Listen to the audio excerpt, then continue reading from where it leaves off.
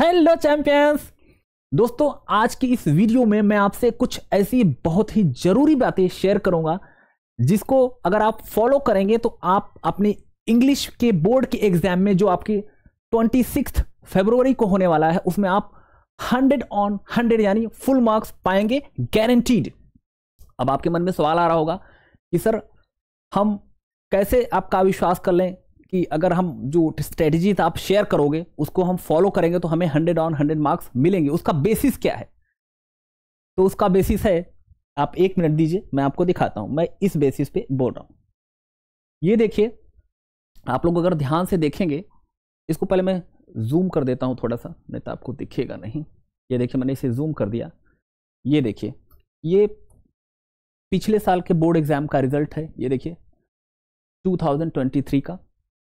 और I hope आप लोगों को दिख रहा है, अगर नहीं दिख रहा है तो मैं और जूम कर देता हूँ। थोड़ा सा।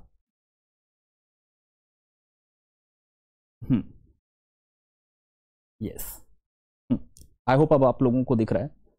Right right? अब देखिए, ये 2023 का क्लास टेंथ का रिज़ल्ट है। Right right? अब ये देखिए, पिछले साल जो क्लास टेंथ का रिज़ल्ट डिक्लेयर हुआ था, सबसे पहले ये देख लीजिए कि मैंने इनको इंग्लिश लिटरेचर पढ़ाया था। हिंदी पढ़ाया था और सोशल साइंस पढ़ाया था, मैंने इनको ऑफलाइन पढ़ाया था राइट तो आप देख सकते हैं, इंग्लिश में इनके 80 ऑन 80 यानी इंग्लिश में इनके पूरे 100 मार्क्स आए हैं, हिंदी में इनके 96 आए हैं, और सोशल स्टडीज़ में इनके टोटल 97 मार्क्स आए हैं आउट ऑफ़ 100 दोस्तों, आप लोग जानते हो, मैं यूट्यूब पे तो मैंने पिछले पाँच छः महीने से ही शुरू किया है बट वैसे मुझे टीचिंग का 15 इयर्स का एक्सपीरियंस है, मैंने कई स्कूल्स में टीचिंग करी है, मैंने सीबीएसई बोर्ड की कॉपी भी चेक करी है राइट तो उस बेसिस पे मैं आपको बोलूँगा, आप विश्वास कर सकते हैं। और हाँ आप कमेंट बॉक्स में कमेंट ज़रूर करिएगा कि मैं जो स्ट्रेटजी आपसे शेयर करने जा रहा हूँ अभी, कि मैंने उस स्ट्रेटजी को मैं फॉलो करूँगा सो दैट आपका जब रिज़ल्ट आए तो मैं आपके कॉन्टैक्ट में आ सकूँ और आपसे पूछ सकूँ कि जो मैंने स्ट्रेटजी शेयर की थी आपके लिए कितनी यूज़फुल थी राइट एक चीज़ आप लोगों को और दिखाना चाह रहा था कि ये देखिए, पिछले साल जो सीबीएसई बोर्ड ने रिज़ल्ट डिक्लेयर करा था, वो मई के महीने में किया था बेसिकली मई के सेकेंड या थर्ड वीक में आप लोगों का भी रिज़ल्ट आएगा, ताकि जब आप लोग कमेंट बॉक्स में कमेंट करेंगे कि हाँ I will follow this strategy तो रिज़ल्ट आने के बाद I will contact you through comments only right so that हम बातचीत कर सकें और देख पाएँ कि आपके लिए वो स्ट्रेटजी कितनी यूजफुल थी राइट right? तो चलिए, ये कौन कौन सी स्ट्रेटजी है उसे हम लोग देखते हैं राइट right? कौन कौन सी स्ट्रेटजी उसे हम लोग देखते हैं तो जैसा कि मैंने बोला कि तीन स्ट्रेटजी हम लोग शेयर करेंगे। और हाँ स्ट्रेटजीज शेयर करने से पहले आ, मैं चाहता हूँ एक बार जरा आप लोग ध्यान दें यहाँ पे। आप लोग जैसा कि जानते हैं कि जो रीडिंग स्किल है ट्वेंटी मार्क्स का है। राइटिंग स्किल भी ट्वेंटी मार्क्स का है। एंड जो लैंग्वेज एंड लिटरेचर जो है वो भी फोर्टी मार्क्स का है। हाँ लिटरेचर से मुझे याद आया कि लिटरेचर में अगर आप चाहते हैं जैसा कि आप जानते हैं कि लिटरेचर में आपके प्रोज में जो आपका बुक है दो बुक्स हैं। है ना? दो बुक्स हैं आपका। एक तो है आपका फ़र्स्ट फ़्लाइट फ़र्स्ट फ़्लाइट में आप जानते हैं प्रोज में नाइन चैप्टर हैं पोएम में टेन चैप्टर्स हैं। उसी तरह फुटप्रिंट्स विदाउट फीट में टोटल नाइन चैप्टर्स हैं। लेकिन अगर मैं आपको ये बोलूँ कि आप लिटरेचर में पूरे 40 ऑन 40 मार्क्स पा सकते हैं, वो भी बिना सारे चैप्टर्स को पढ़े। यानी कुछ सिलेक्टेड चैप्टर्स को पढ़ करके आप लिटरेचर में 40 ऑन 40 पा सकते हैं। आपको पूरे चैप्टर पढ़ने की ज़रूरत नहीं है। राइट? अगर आप चाहते हैं तो आप कमेंट बॉक्स में कमेंट ज़रूर करिए। अगर ज़्यादा मात्रा में ज़्यादा नंबर में कमेंट्स आते हैं तो मैं इस पर एक वीडियो बना दूँगा। एंड कम कुछ स्पेसिफिक चैप्टर्स पढ़ के आप फुल मार्क पा सकते हैं। चलिए आगे बढ़ते हैं। Now we will try to know we will discuss कि क्या ऐसी बातें करनी है। राइट right, देखिए। आप लोग इंग्लिश में तीन ऐसी मिस्टेक्स करते हैं जिसकी वजह से आप लोगों के मार्क्स इंग्लिश में कट जाते हैं। यानी केवल fifty fifty five to sixty marks ही मिल पाते हैं आउट ऑफ़ हंड्रेड राइट तो ये तीन मेजर गलतियाँ हम डिस्कस करेंगे जो आप लोग करते हैं। दूसरा हम लोग ये डिस्कस करेंगे कि जो स्ट्रेटजी मैं डिस्कस करूँगा, उन स्ट्रेटजीज को डिस्कस करने के बाद जो सैंपल क्वेश्चन पेपर चाहिए होगा, जो स्टडी मटेरियल चाहिए होगा, उसके लिए आपको कुछ भी खर्च नहीं करना है। मैं बताऊँगा आपको फ्री ऑफ़ कॉस्ट कहाँ से मिलेगा, आप वहाँ से उसे देख सकते हैं। और तीसरी बात आपसे डिस्कस करनी थी कि सीबीएसई बोर्ड में क्वेश्चन पेपर कैसे बनता है। जो आपके लिए जानना ज़रूरी है। सीबीएसई कितने क्वेश्चन पेपर्स को कैसे बनाती है तो उसको भी हम लोग डिस्कस करेंगे पॉइंट बाय पॉइंट तो चलिए, पहला हम लोग डिस्कस करेंगे राइटिंग स्किल का सेक्शन राइटिंग स्किल देखिए राइटिंग ये ये वो तीन गलतियाँ हैं जो आपके इंग्लिश में मार्क्स को कटवाती हैं, इसलिए प्लीज़ ध्यान से सुनिए। राइटिंग स्किल में पहली गलती आप लोगों से हो, ये हो जाती है कि आप लोग या तो राइटिंग स्किल की प्रैक्टिस नहीं करते हैं, और अगर राइटिंग स्किल की प्रैक्टिस करते भी हैं तो आपको राइट फॉर्मेट नहीं पता होता है राइट तो सीबीएसई ने इस पिछले साल बेसिकली आपके बोर्ड के एग्ज़ाम के लिए 2024 के बोर्ड के एग्ज़ाम के लिए सैंपल पेपर इशू किया था एडिशनल क्वेश्चन पेपर भी इशू किया था तो ये चीज़ मैंने वहाँ से उठाई है, जिसमें देखिए ये क्वेश्चन है राइटिंग स्किल का क्वेश्चन राइटिंग स्किल में आप लोग जानते हो कि लेटर आता है एनालिटिकल पैराग्राफ आता है। बाय द केवल पैराग्राफ बोलना गलत होगा? उसे एनालिटिकल पैराग्राफ बोलते हैं, जो कि पैराग्राफ का ही टाइप होता है, लेकिन वो सिंपल पैराग्राफ से बिल्कुल अलग होता है तो उस पर भी हम लोग देखेंगे। ध्यान दीजिए। देखिए राइटिंग स्किल में ये क्वेश्चन है। ये क्वेश्चन अगर मैं पूरा पढ़ूँगा तो टाइम आप लोगों का ज़्यादा लगेगा। तो मैं बेसिकली ये समझाना चाह रहा हूँ कि सीबीएसई ने क्वेश्चन दिया है और इस क्वेश्चन को देने के साथ ही साथ सीबीएसई ने इसका आंसर भी इशू किया है लेटर का। तो यहाँ से आप लेटर राइटिंग का फॉर्मेट ले सकते हैं राइट अब एक जो बच्चों के बीच में गलत फहमी होती है कि सीबीएसई जो है मार्क्स नहीं काटती है, अगर स्पेलिंग रॉन्ग हो जाए या ग्रामर की गलती हो जाए तो देख लीजिए, वो भी मैं दूर कर देता हूँ। ये देखिए, मैं पढ़ देता हूँ, यहाँ पे आप ध्यान से सुनिए। देखिए आप आप लोग ये ये ज़रूर पढ़ लीजिएगा, ये सबसे ज़्यादा इंपॉर्टेंट है, इसलिए मैं खुद पढ़ दे रहा हूँ। ऑर्गेनाइजेशन ऑफ़ आइडियाज़ के लिए वन मार्क मिलेंगे। Effective style orderly sequence paragraph basically आप लोग करते क्या हो राइटिंग स्किल में जो भी मन में आया, वो भी लिख देते हो। नहीं, ऐसा नहीं होता। राइटिंग स्किल में एक प्रॉपर फॉर्मेट होता है। फॉर्मेट के साथ साथ एक प्रॉपर बिगनिंग होती है, फिर इलेबोरेशन ऑफ़ द आइडिया होता है यानी डिस्क्राइब करते हो फिर आप एंडिंग करते हो। मतलब एक प्रॉपर बिगिनिंग होती है फिर इलेबोरेशन होता है फिर एक प्रॉपर एंडिंग होती है। तो इसका एक तरीका होता है। इसको देख करके आप सीख सकते हो राइट एंड uh, अभी आगे हम लोग अगर आप ग्रामर में किसी भी इंग्लिश में क्वेश्चन इंग्लिश के किसी भी आंसर में अगर आप दो से ज़्यादा ग्रामर और दो से ज़्यादा स्पेलिंग रॉन्ग करते हो यानी ग्रामेटिकल मिस्टेक अगर आपका किसी आंसर में दो से ज़्यादा है या दो से ज़्यादा स्पेलिंग आपकी रॉन्ग है तो उसके भी नंबर सीबीएसई काट लेगी, क्योंकि जो इवेल्युएटर्स होते हैं, उनको स्ट्रिक्ट इंस्ट्रक्शंस होता है। दो दो या दो से कम है तो नहीं कटेगा। दो से ज़्यादा होगा तो आपके मार्क्स कट जाएँगे। अभी आगे आने वाली स्लाइड में आपको दिखाऊँगा। अब आप देख सकते हैं यहाँ पे, देखिए क्वेश्चन वहाँ पे है, उस, मैं साइड हो जाता हूँ। क्वेश्चन आपने पिछली स्लाइड में आपने देख लिया। स्क्रीनशॉट ले सकते हैं आप। ये लेटर के आंसर की स्क्रीनशॉट ले सकते हैं आप। उसके बाद आप खुद सीख सकते हैं। इसी तरह के ढेर सारे क्वेश्चन और सोल्यूशन कहाँ से मिलेंगे फ्री ऑफ़ कॉस्ट वो भी मैं आपसे आगे आगे आने वाली स्लाइड में शेयर करने वाला हूँ। चलिए आगे बढ़ते हैं। दूसरा क्वेश्चन जो आप लोगों का राइटिंग दूसरा क्वेश्चन जो आप लोगों का राइटिंग स्किल में आता है, वो होता है आपका पैराग्राफ का। ये देखिए पैराग्राफ ठीक है? ये एनालिटिकल पैराग्राफ होता है। यहाँ पे आप ध्यान दीजिए। इस क्वेश्चन पे ध्यान दीजिए। क्या करा है? राइट एंड एनालिटिकल पैराग्राफ तो ये सिंपल पैराग्राफ से बिल्कुल अलग होता है राइट तो आपको ध्यान देना है। हाँ और वर्ड लिमिट भी फॉलो करनी है। राइटिंग स्किल लिखते समय आप लोग वर्ड लिमिट को फॉलो नहीं करते हो। ये भी एक मेजर रीजन है कि मार्क्स के कटने का। तो बेसिकली क्या क्या राइटिंग स्किल में क्या क्या सावधानियाँ बरतनी है? प्रॉपर फॉर्मेट फॉलो करना है, एक प्रॉपर बिगिनिंग होती है, फिर इलेबोरेशन पार्ट होता है, फिर प्रॉपर एंडिंग होती है। ग्रामर की मिस्टेक नहीं करनी है राइट right? स्पेलिंग की मिस्टेक नहीं करनी है, ठीक है?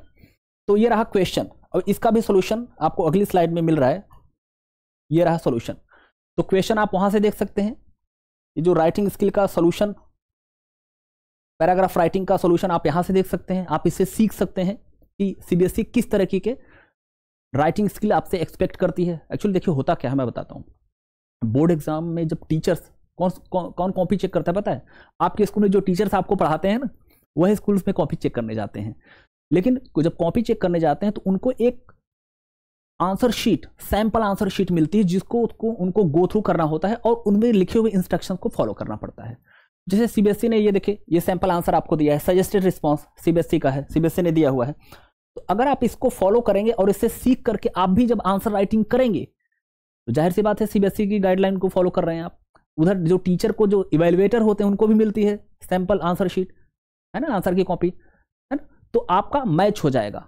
यानी आप भी सीबीएसई के इंस्ट्रक्शंस को फॉलो कर रहे हैं और जो इवेल्युएटर गए हैं सीबीएसई बोर्ड की कॉपी चेक करने, वो भी फॉलो कर रहे हैं तो आपके मार्क्स कटने की पॉसिबिलिटी बहुत कम हो जाएगी। इसलिए इसको आप ज़रूर फॉलो करिए। चलिए, अब हम आगे बढ़ते हैं। अब हम आगे देखिए, पहली गलती आप लोग तो यहाँ करते हैं राइटिंग स्किल में। दूसरी गलती आप लोग कहाँ करते पता है? आप लोग लिटरेचर में दूसरी गलती करते हो। लिटरेचर में आप लोग क्या करते हो? जो भी लिटरेचर में भी आप लोग मेनली दो तरह की गलतियाँ करते हो। पहले तो क्वेश्चन को ध्यान से पढ़ना होता है। आप लोग क्या करते हो? क्वेश्चन कैसे पढ़े जो भी मन में आया, जो भी कुछ भी आया लिखना शुरू कर दो। ऐसे नहीं करना है। क्वेश्चन को खूब ध्यान से पढ़ो और समझने की कोशिश करो कि क्वेश्चन में पूछ क्या रहा है। और बिल्कुल वही चीज़ लिखो जो पूछी जा रही है।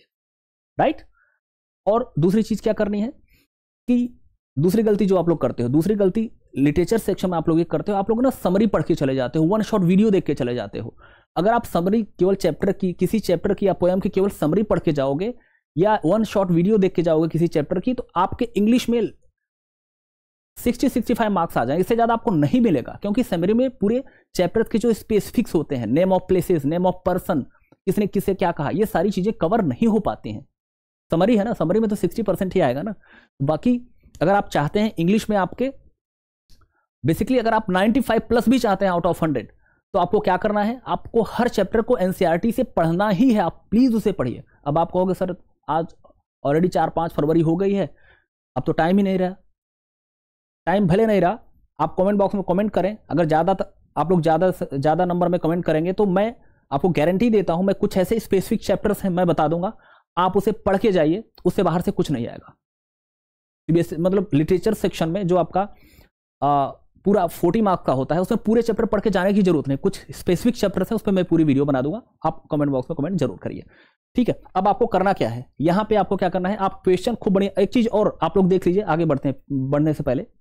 ये देखिए, यहाँ पे लिखा है if error density is high more than a total of two spellings अगर टू स्पेलिंग से ज़्यादा हो रही है या ग्रामेटिकल यानी अगर आपकी ग्रामेटिकल मिस्टेक या स्पेलिंग की मिस्टेक टू से ज़्यादा हो रही तो आपको सीबीएसई आपके मार्क्स काट लेगी, किसी भी क्वेश्चन में। राइट अब ये जैसे क्वेश्चन है, इस क्वेश्चन को आप खूब बढ़िया ध्यान से पढ़िए और फिर ये सीबीएसई का सैंपल आंसर है। तो इसी तरीके का आंसर इरिलेवेंट बात नहीं लिखनी, बिल्कुल जो पूछ रहा है क्वेश्चन आप वही लिखिए। राइट तो ये तो हो गया आपका थ्री मार्कर इसी तरीके से मैंने एक सिक्स मार्कर भी लिया है। ये देखिए सिक्स मार्कर क्वेश्चन है। ये बी वाले क्वेश्चन का आंसर इसमें है। मैं अगर क्वेश्चन आंसर पढ़ूँगा तो बहुत ज़्यादा टाइम लग जाएगा। आप लोग चाहें तो इसका स्क्रीनशॉट ले लीजिए और क्वेश्चन पढ़ लीजिए और फिर सीबीएसई ने कैसा आंसर लिखा है, इसी तरह का आंसर आपसे भी एक्सपेक्टेड है तो आप उसे देख सकते हैं और सीख सकते हैं कि किस तरह के आंसर आपको लिखने हैं। कोई भी, एक भी सेंटेंस फालतू का नहीं लिखना है, एकदम रिलेवेंट बातें लिखनी है। चलिए आगे बढ़ते हैं। तो लिटरेचर में ये जो दो तरह की गलतियाँ मैंने आपको बताई हैं, वो नहीं करनी है। क्या गलतियाँ मैंने बताई? कि कुछ भी नहीं लिख देना है। क्वेश्चन पढ़िए ध्यान से, जो पूछ रहा है वही लिखना है। ग्रामेटिकल और ग्रामेटिकल मिस्टेक नहीं करनी है स्पेलिंग की मिस्टेक नहीं करनी है। और आंसर की प्रॉपर बिगिनिंग होनी चाहिए। और केवल समरी पढ़ के मत जाइए। अगर आप इंग्लिश में फुल मार्क्स या 90 प्लस मार्क्स भी चाहते हैं तो समरी पढ़ के मत जाइए। समरी पढ़ के जाएँगे, आप केवल 60 टू 65 परसेंट मार्क्स ही पाएँगे। चलिए आगे बढ़ते हैं। अब आ गया अपना थर्ड सेक्शन रीडिंग स्किल का, जो कि आपका पहला सेक्शन ए होगा। देखिए, आज आप जानते हैं कि जो रीडिंग स्किल का सेक्शन है, उसमें पूरे ट्वेंटी के ट्वेंटी मार्क्स मिल सकते हैं। पता है, इस ट्वेंटी मार्क्स को पाना बहुत ही आसान होता है। अब इसके लिए आपको करना क्या है? अब तो इतना आसान हो गया, पहले इतना आसान नहीं होता होता था। अब आपको करना क्या है? लोग बोलते हैं टेन ईयर्स का सॉल्व को टेन ईयर्स नहीं सॉल्व करना। आप केवल पिछले साल का, यानी 2023 का क्वेश्चन पेपर निकालिए। हाँ अब याद आ गया कि मैंने आपसे प्रॉमिस किया था कि मैं आपको बताऊँगा सीबीएसई के क्वेश्चन पेपर के बारे में कुछ। तो वो इंपॉर्टेंट इन्फॉर्मेशन ये है कि सीबीएसई क्या करती है? हर सब्जेक्ट के कम से कम सिक्स कम से कम सिक्स कम से कम सिक्स सेट्स कम से कम six sets of question paper तैयार करती है और हर सेट का थ्री सबसेट होता है। थ्री सबसेट क्वेश्चन पेपर तैयार करें। यानी एक सब्जेक्ट का सीबीएसई टोटल 18 क्वेश्चन पेपर तैयार करते हैं राइट तो आपको करना क्या है? आपको ये जो मैं बता रहा हूँ, वो रीडिंग के लिए, ध्यान दीजिए, यानी रीडिंग स्किल वाला जो सब रीडिंग रीडिंग स्किल वाला, देखिए रीडिंग इसको स्किल बोलते हैं रीडिंग स्किल प्लस ग्रामर का। रीडिंग स्किल प्लस ग्रामर का आपको क्या करना है? 2023 2023 का क्वेश्चन पेपर उठाना है। कहाँ से मिलेगा मैं अभी आपको बताता हूँ। 18 है, लेकिन 18 मत सॉल्व करें। आप केवल 10 से 12 भी अगर आप सॉल्व कर लोगे ना, ग्रामर का। ग्रामर का 10 से 12 और रीडिंग स्किल का जो आपका क्वेश्चन नंबर वन और क्वेश्चन नंबर टू होता है, जो टोटल 20 मार्क्स का होता है। अगर आप 10 या 12 सेट भी सॉल्व कर लोगे ना, आई गारंटी यू कि आपको इंग्लिश में 90 प्लस मिनिमम पाने से कोई नहीं रोक पाएगा। ये पंद्रह सालों का मेरा तजुर्बा बोल रहा है राइट तो दोस्तों कमेंट बॉक्स में कमेंट ज़रूर करिए कि I will follow it and I I wish you best of luck for your board exam आज के लिए इतना ही. Thank you so much